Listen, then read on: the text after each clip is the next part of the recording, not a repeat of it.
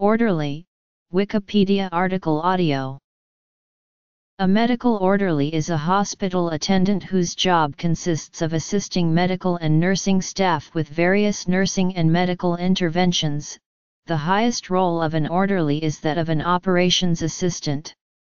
An operations assistant requires people of a higher caliber to be knowledgeable in advanced medical terminology and assisting with specialist surgery setups.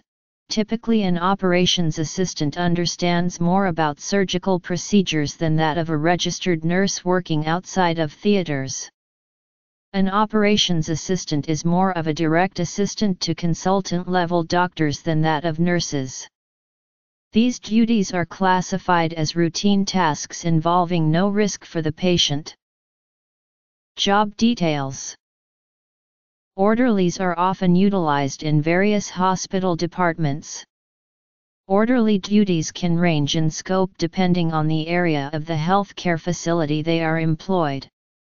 For that reason, duties can range from assisting in the physical restraint of combative patients, assisting physicians with the application of casts, transporting patients, shaving patients and providing other similar routine personal care to setting up specialized hospital equipment such as bed traction arrays. Orderlies are typically found in emergency departments, operating rooms, psychiatry, long-term care, and orthopedics. Orderlies are described as non-licensed hospital assistants that are instructed to perform delegated functions under the direct supervision of a licensed practitioner in the healthcare setting. While the role of nursing has traditionally been filled by women, most orderlies are men, as they may be asked to assist nurses in physically demanding procedures. In the U.S., orderlies have been phased out of healthcare facilities in recent years and their functions are now replaced by the patient care assistant and certified nursing assistant. They remain common in Canada and other countries. Orderlies in UK hospitals were known as attendants, but that role has been phased out. The nearest role left to a male hospital assistant is that of porter, but that is more a logistical role, moving patients and equipment around the hospital. This is not to be confused with healthcare assistants who are essentially carers for patients, and may be of both sexes. A common setup among hospitals in Australia is seen at the Royal Adelaide Hospital in Adelaide, South Australia.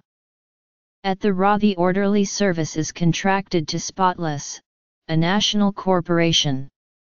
There are around 80 orderlies employed by Spotless at the Royal Adelaide alone.